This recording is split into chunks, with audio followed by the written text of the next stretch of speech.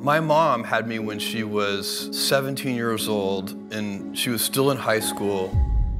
Levels of fame and, and wealth that are uh, hard to comprehend. Our stock peaked somewhere around $113. Our stock went down to six. As a result of going up 70% this year, you have become the wealthiest man in the world.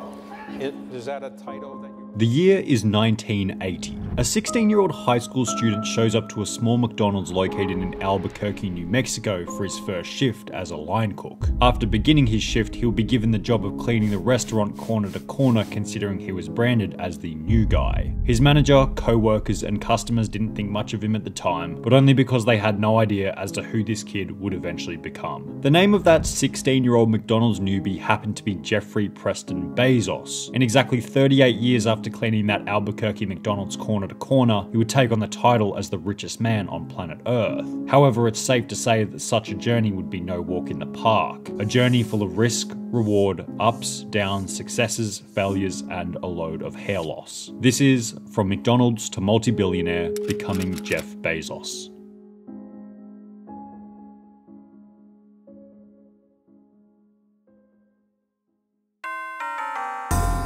Jeffrey Preston Jorgensen was born in Albuquerque, New Mexico on the 12th of January 1964. At the time of his birth, Jeff's mother Jacqueline was still extremely young and was yet to graduate from high school. I was two weeks past my 17th birthday and a junior in high school when I gave birth to my first son, Jeff. She was a pregnant 16 year old in Albuquerque, New Mexico in high school, which was not cool. At the time, Jeff's mother Jacqueline was so poor that she ruled out the idea of owning the most basic household items such as a telephone. I figured out that Jeff and I could move into our own apartment if we just didn't have a phone. Jacqueline had been married to a man named Theodore Jorgensen at the time of Jeff's birth, who she later divorced and soon remarried immigrant Mike Bezos in 1968, resulting in a name change from Jeffrey Jorgensen to Jeffrey Bezos at the age of four. As Jeff Bezos began to grow up, he would start spending his summers at a ranch owned by his grandfather in Cotulla, Texas. Spent three months every year from the age of four to age of 16 working on the ranch with my grandfather, which was just an incredible incredible experience. This fact by itself is of no value, however this ranch in South Texas would be the location at which Jeff's grandfather would begin to teach him the basics of self-reliance. He was incredibly self-reliant. He did everything himself. You know, he didn't call a vet if one of the animals was sick. He figured out what to do himself. As well as the importance of taking on tasks that he didn't know how to solve. He would take on major projects that he didn't really know how to do and well, then figure out how to do them. As Jeff continued to grow into his early teens, he began to display an interest in science and technology. He would begin to use his garage to make various pieces of tech, such as an alarm to keep his brother and sister out of his room. You know, our garage was basically, you know, science fair central. Possibly based on this interest, Jeff Bezos would be accepted into the gifted program at his elementary school, displaying his cognitive ability from a young age. Early age, were you a pretty smart student and your teachers tell you this Oh, you were good, or? I have always been academically smart. As Jeff entered into high school, he would win a Silver Knight Award, which was presented to outstanding individuals and leaders who have applied their knowledge and talents to serving their school and communities, also being named valedictorian upon graduation. You were uh, the valedictorian of your high school uh, in Miami. Which hopefully gives everyone a good idea of who Jeff was becoming by his late teens. I was a good student. I always worked really hard. I was nerdy. You were nerdy. I was nerdy. I was uh, um, in the goody-goody uh, class of students. However, despite having gifted cognitive skills, Jeff was far from being well off. Throughout his high school years at the age of 16, Jeff would get his first job at McDonald's earning $2.69 per hour. While it didn't pay all that well and was far from glamorous, Jeff saw the positives in the situation, claiming that the job got him interested in the process of automation, taught him the basics of customer service, and the importance of staying focused on a single task. She couldn't get me to switch tasks, so she would have to just pick up my chair and move me. And By the way, I think that's, if you ask the people who work with me, that's still probably true. And Jeff never had a problem working at McDonald's back at the age of 16 because he would later explain that it was never about the present for him. It was all about the future. The same way I do. They, they work in the future, they live in the future.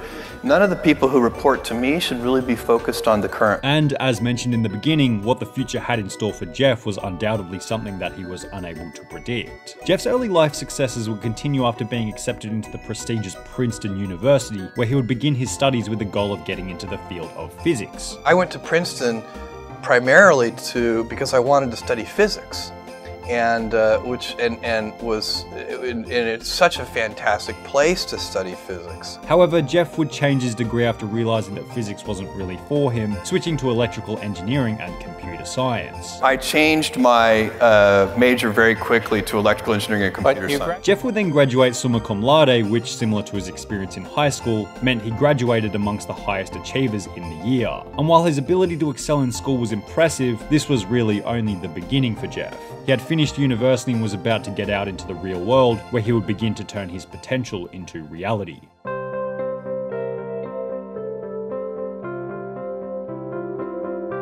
Unsurprisingly, Jeff would receive numerous job offers upon the completion of his degree at prestigious companies such as Intel, Nokia, and Accenture, however, would decline these offers and instead take a job at a financial tech startup by the name of Fitel. But a financial tech startup simply wasn't good enough for a genius like Jeff Bezos, so he would eventually take his skills to a hedge fund by the name of D. Shaw in 1990 at the age of 26. I went to New York City and I ended up working at a quantitative hedge fund run by a brilliant man named David Shaw, D.E. Shaw & Co. Despite now being in this extremely prestigious, high paying job, rather than valuing the money he was being paid, it seemed as though Jeff Bezos preferred to value the lessons he was being taught by his bosses. I learned so much from him. I used a lot of his ideas and principles on things like HR and recruiting and what kind of people to hire when I. And Jeff was going to need all of the lessons he could possibly learn, because Jeff was already thinking about leaving the hedge fund with the intention of taking on the biggest venture he could possibly think of. However, before taking on another big venture,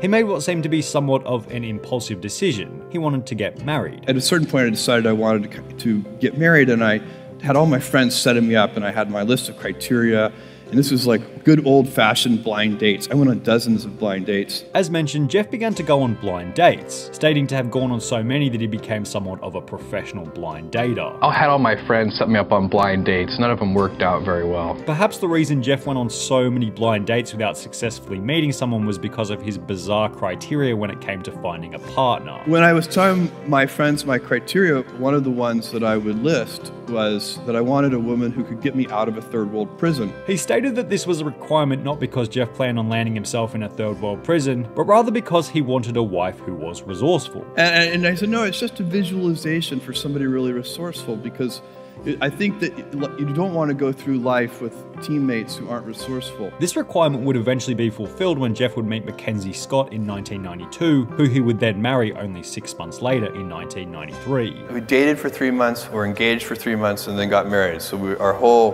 kind of dating engagement period was only six months long. Jeff's life seems somewhat perfect at this point on the outset. A job at a hedge fund in one of the most prestigious cities in the world, newly married to a beautiful, resourceful wife. It seemed like Jeff couldn't have had it any better at the time. But as is said, when everything gets too perfect, the first thing we want to do is break it apart so we can have a challenge. And a challenge was certainly what Jeff Bezos was preparing for.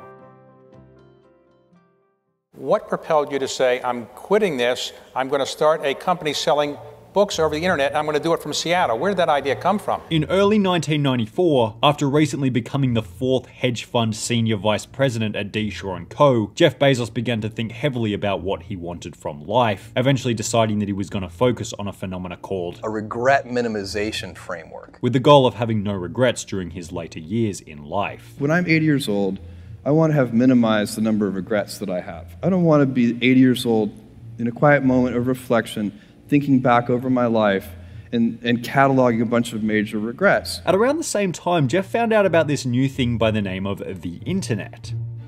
Internet is uh, that massive computer right. network. The one that's becoming really big now. An online network called Internet. Allison, can you explain what Internet is? Now that I've gotten on the Internet, I'd rather be on my computer than doing just about anything. The Internet itself, however, is definitely exploding.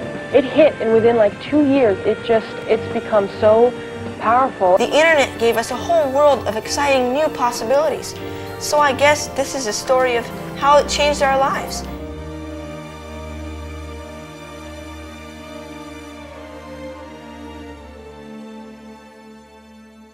When I came across the startling statistic that web usage was growing at 2,300% a year.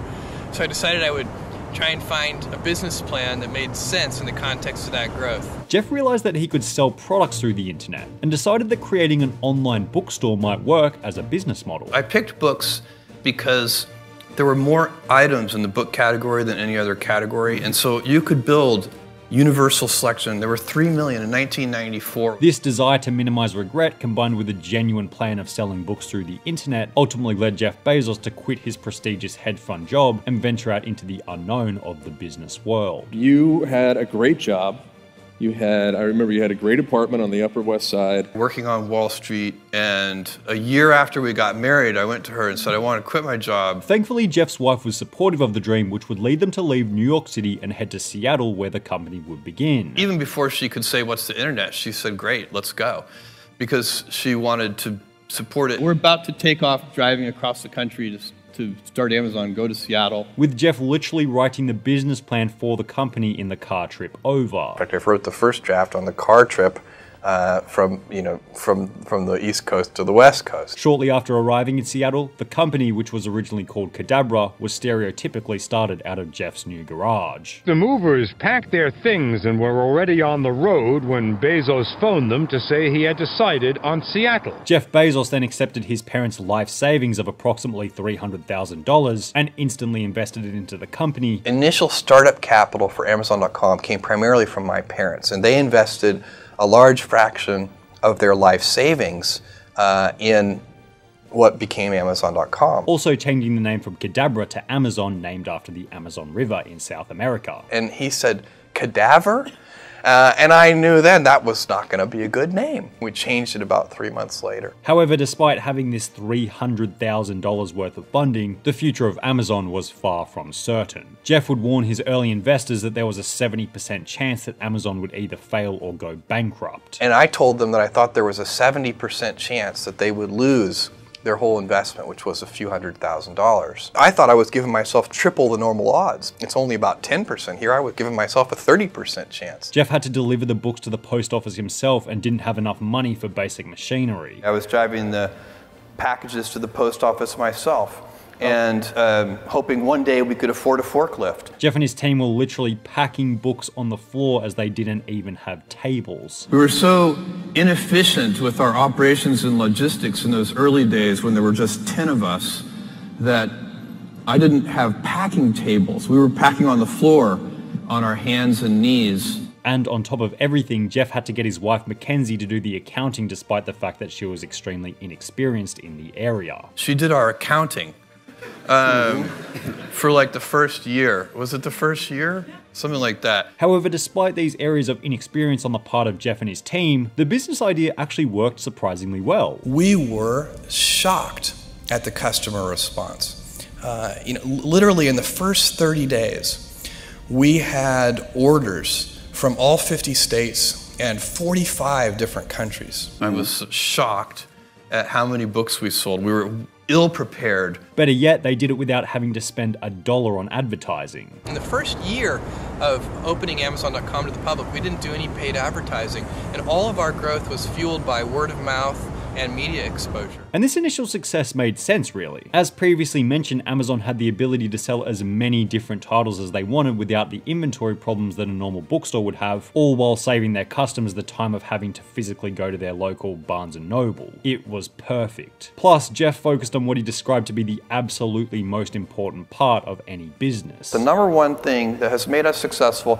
by far is obsessive compulsive focus on the customer as opposed to obsession over the competitor. This initial success led to a range of investment from various individuals, totaling a further $1 million to put into the growth of the company. I raised a million dollars from 22 different investors, $50,000 at a time, and they got 20% of the company for a million dollars. Between 1990 and 1997, the percentage of households in the US owning computers increased from 15% to 35% because owning a computer was less of a luxury and more of a necessity. Increased computer usage as well as further funding led up to a point where the Amazon company would make their next big move the initial public offering. Today, Amazon.com went public and it seems to be trading well. A little under three years after beginning the company, Jeff Bezos would take Amazon public, $1.73 per share. Not a bad price considering that same share would be worth more than $3,000 today. The IPO raised Amazon a total of $54 million, and Bezos would officially receive the title of millionaire for the first time. Exactly one year after the IPO at $1.73 per share, the stock price had climbed to $6, an increase of 350%. This almost quadrupled Jeff's net worth, but more significantly began to spark new ideas for what Jeff could do with the company, ultimately leading him to email his customers asking what it was that they wanted to buy off the internet. I wish you sold windshield wiper blades because I really need windshield wiper blades.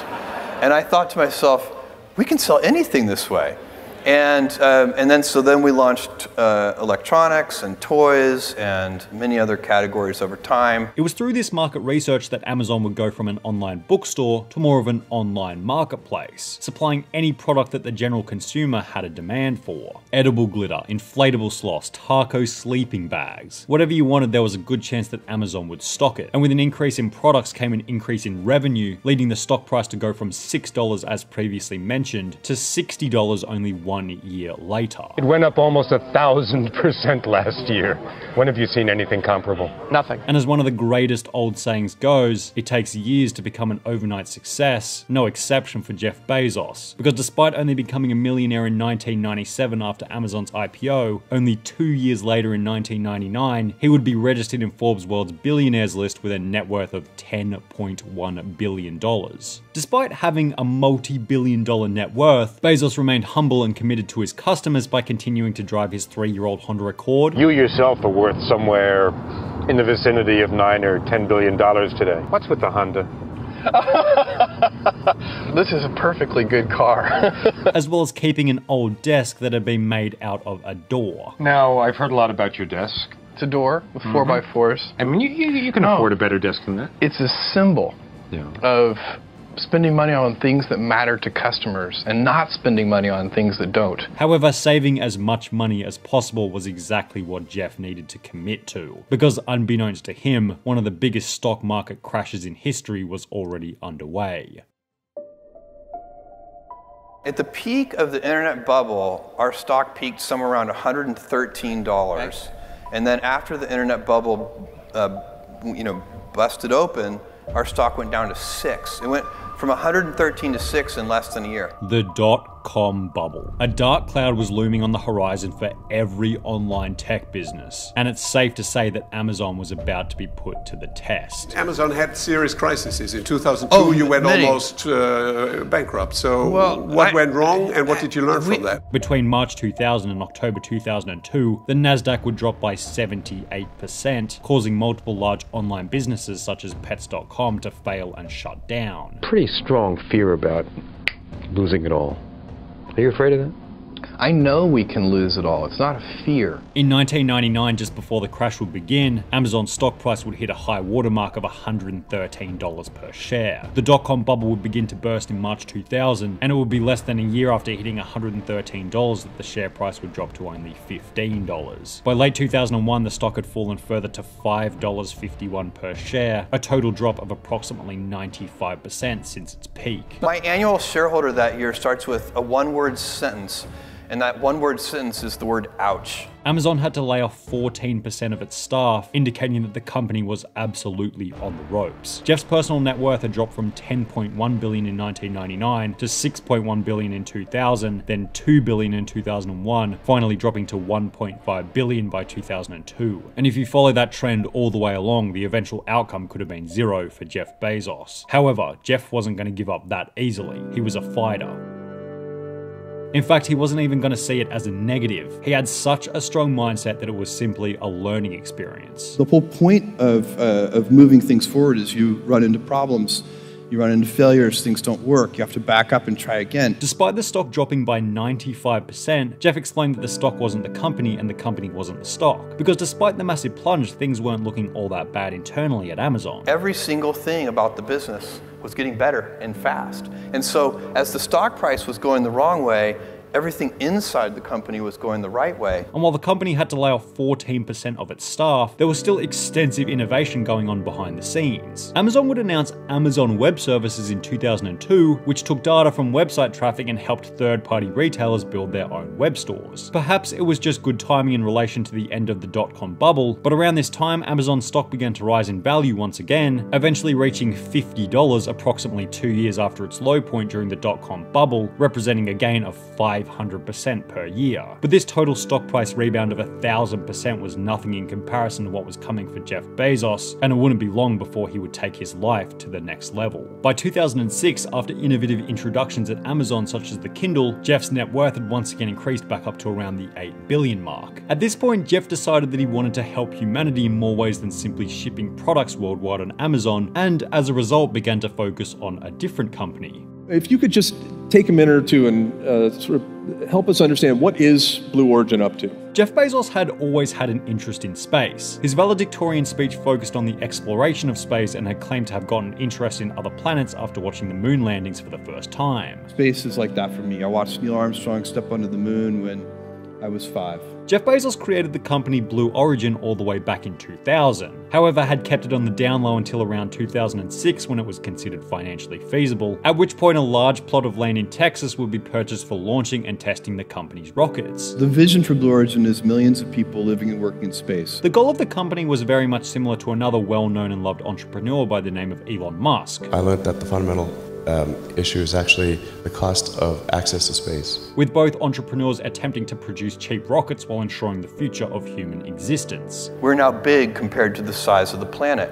We can fix that problem. My role in that is I want to build reusable space vehicles. That's the heavy lifting. And while Bezos was working on Blue Origin as a passive side project, Amazon was still churning away in the background, barely being touched by the global financial crisis, making Bezos richer and richer and richer. 12 billion, 18 billion, 29 billion by 2013. By this point, Amazon had become the largest online shopping retailer in the world, and Jeff Bezos had become the 19th richest person in the world. But these weren't the only significant events that happened in 2013. Jeff was about to make his next big business purchase. The Post at the time um, had was kind of financially upside down, had a lot of work to do, no fault of their own. The internet had really taken the wind out of, um, out of newspaper companies. By this point, it had become somewhat obvious that Jeff wasn't really into conventional businesses. An online bookstore before the internet was populated, a company creating cheap rockets to be sold for space travel, hardly the type of businesses you'd expect a local mum and dad to be running. This trend of purchasing unconventional businesses would continue into 2013, at which point Bezos would purchase a newspaper company by the name of The Washington Post for a price of $250 million. I asked him how much he wanted. He said 250. I said fine. I didn't negotiate with him and I did no due diligence. By 2013, the internet had completely taken over the traditional newspaper business model. The problem was a, a secular one. The internet was just eroding all of the traditional advantages that local newspapers had, all of them. And Jeff's rationale for purchasing the Washington Post was actually extremely smart. The Washington Post already had a load of talented people who knew a lot about news and media, and Jeff had become a master of online businesses. So Jeff would mix his knowledge of the internet with Washington Post's knowledge of news media with the goal of making the company profitable once again. Inside the Washington Post, we have so much talent that understands newspapers. That wasn't what the problem was. What they needed was somebody who had an understanding of the internet. Bezos lifted the online paywall while completely restructuring the newspaper into more of an online media site, and by 2016, only three years after making the purchase, the Washington Post had become profitable once again, showing that almost anything Bezos touched would turn to gold. The turn to profitability at the Washington Post was around the same time that profitability over at Amazon was starting to get to absolutely stupid levels. Which brings us to one of the most iconic iconic events in Amazon's history. July 2015. Amazon releases its quarterly earnings report, which surprised its investors by reporting a net profit that outperformed the top quarterly estimates. This incredible earnings report caused the stock to surge 18% during after hours trading, and when the market opened, Jeff Bezos would earn $7 billion in the space of 60 minutes, taking him to the spot of the fifth richest person in the world by 2016 with a net worth of $50 billion. And it's not like Jeff began to hoard this money or blow it on excessive luxury, rather, he just continued to make Amazon even bigger, hiring 130,000 new employees. By this point, it was barely a matter of if he was going to become the richest person in the world, but more a matter of when he was going to become the richest person in the world. And that time was not far away at all. In March 2018, after expressing the possibility of expanding Amazon into India, combined with the extreme success of Amazon Prime, Jeff Bezos would overtake Bill Gates to become the richest man in the world with a net worth of $112 billion. As a result of going up 70% this year, you have become the wealthiest man in the world. Is that a title that you really wanted or not? I, is it I can burden? assure you I have never sought that title. And um, uh, it was fine being the second wealthiest person in the world. That actually worked fine. This jumped to 131 billion in 2019, and due to the pandemic increasing the demand for online shopping, Bezos ended 2020 with a net worth of 182 billion dollars. Bezos lost the title of world's richest man to Elon Musk in January 2021. However, each billionaire claims to have the same goal of making life multiplanetary, so at the end of the day, a bit of healthy competition at the top might not be such a bad thing for the human race.